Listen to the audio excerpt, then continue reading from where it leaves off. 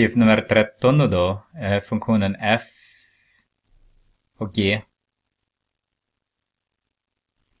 gäller att f av x, som vi ser här, och g av x bestämde x-värde x, där grafen f har lutningen 18. Så f prim x egentligen är 18 för a nu då.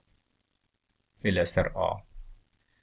Det är den som de säger, lutningen är 18. Okay, k är 18 också om man säger så. Så vi behöver f prim x. Så om vi använder den här så har vi 10x adderat med 3. Och det skulle vara lika med 18 så har vi 10x adderat med 3 är lika med 18. Så drar vi båda led med eh, 3. Så har vi 10x är lika med 15. Dividerar med 10, dividerar med 10. Så har vi x är lika med 1,5. Då har vi löst a, x är lika med 1,5. B då, grafen till g har en tangent i den punkt x är lika med 6. Tittar på det sen. Bestäm koordinater för tangentens skärningspunkt med x-axeln.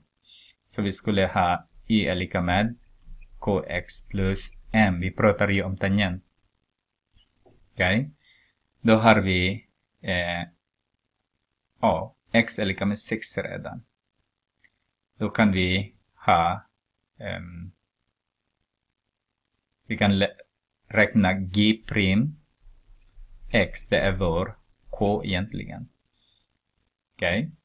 Så letar vi efter det. g prim först. x är lika med. Då har vi 2x adderar med 8.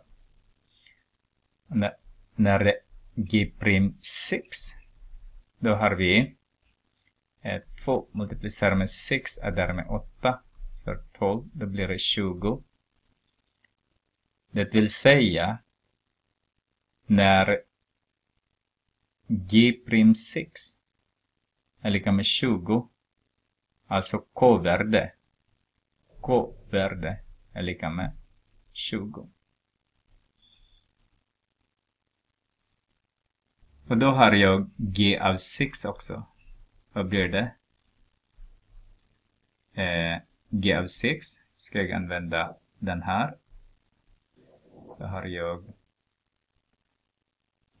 eh, 6 upphöjt till 2 addera med 8 multiplicerar med 6. Så är 36 addera med 48. Vad blir det då? 84. Så den där punkten, att det tangent är 6 och 84. Nu kan vi använda den punkten för att leta efter M. K är 20 har vi sagt redan. Så har vi 84 är lika med 20 multiplicerar med 6 adderar med m.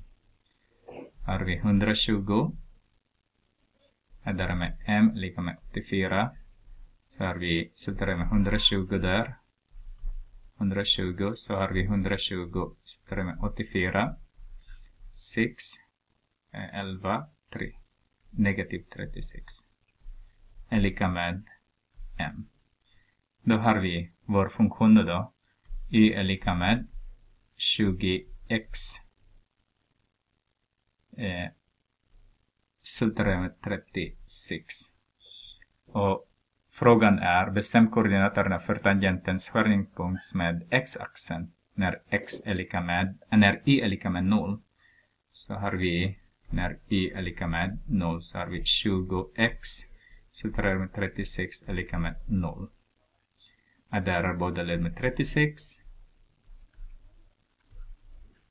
Så har vi 20x är lika med 36. Dividerar med 20, dividerar med 20. Så har vi x är lika med eh, 3,6 dividerar med 2. Så har vi 1, kamma. Har vi 16, 1,8.